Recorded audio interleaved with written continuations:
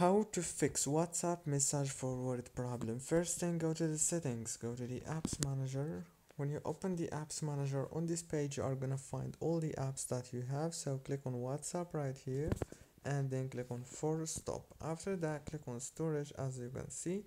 Click on clear cache and that's it. Now all what you want to do is very simple. Just restart your phone.